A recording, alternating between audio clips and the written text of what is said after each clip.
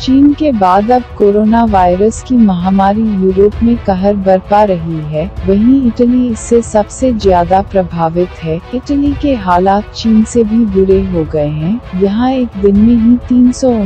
लोगों की मौत हो गई, यानी 48 घंटे की बात करें तो 700 से ज्यादा लोग मौत की नींद सो गए इसके साथ ही वहाँ मरने वालों का आंकड़ा दो